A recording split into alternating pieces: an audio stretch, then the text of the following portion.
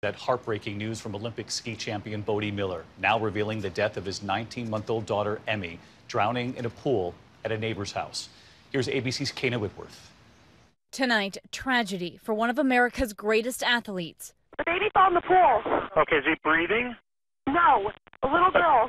Bode Miller's 19 month old daughter, Emeline, drowning at a neighbor's pool in Orange County over the weekend. Yes, hurry. Hurry! You can hear the effort to revive her in the 911 call. How long was she in the pool?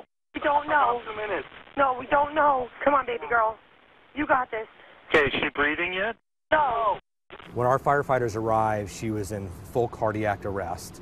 And so again, they tried to do everything they could. And, and, again, our hearts break for the family, for the neighbors, that whole community. Miller, who with six Olympic medals is the most decorated male American skier of all time, posting photos and video of the blonde haired, blue eyed toddler with her mother Morgan, writing, Her love, her light, her spirit will never be forgotten.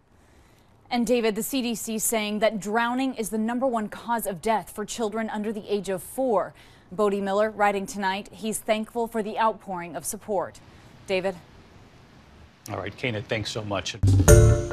Hi, everyone. George Stephanopoulos here. Thanks for checking out the ABC News YouTube channel. If you'd like to get more videos, show highlights, and watch live event coverage, click on the right over here to subscribe to our channel. And don't forget to download the ABC News app for breaking news alerts. Thanks for watching.